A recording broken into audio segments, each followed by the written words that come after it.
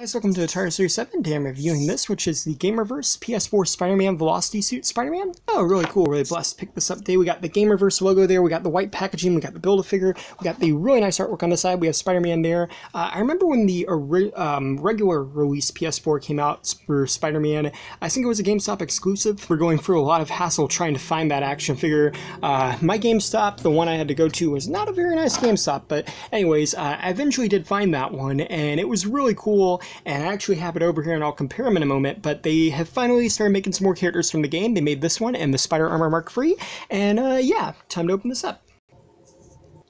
Now, I never really liked the Velocity suit that much in the game, but I really like this Marvel Legend for it. Um, the Velocity suit, I believe, was original to the game. I think it's one of the few suits that was only made for the game and only appears in the game, uh, but it's got some really nice detailing. It's got the uh, red. I really like it because they actually made it kind of look like an armor detail and I think that's cool. I love the black around the eyes here and the blue and how it cuts through, and uh, just the molding. It really looks more of like an armored helmet look. I like that. I love this ginormous blue spider back here. It just looks so cool how it cuts into the molding, um, and I also love how the lines for the spider go all the way around like his legs and everything, and then it kind of meets up with his front spider on his chest. I think that's really, really cool uh, how they line that up, and it's really nice blend too of like this red, dark red, and then light blue, and then finally dark blue, and those lines do go all the way down to his uh, legs here. In the movie down, you have the red and blue.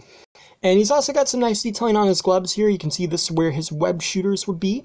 And uh, they do look pretty good on his hands there. And then also, too, how the red lines cut across. So I really do like the detail on him. In terms of articulation, you got a 360 of the head. You can look up and down. You got 360 the arm, swing out of the shoulder. You got a 360 there. Double joint elbows, which are nice. You want to be articulate. You got 360 at the wrist and on hinges.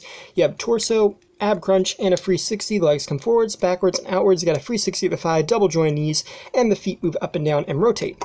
So in terms of articulation, what we've come to expect, but you know, that's not a bad thing. I mean, Spider-Man definitely needs to be an articulate character, the leg to the Build-A-Figure, and also you get this really cool web harness piece. Now, I believe this is based on one of his moves in the game. I'm going to be honest, I can't remember which one.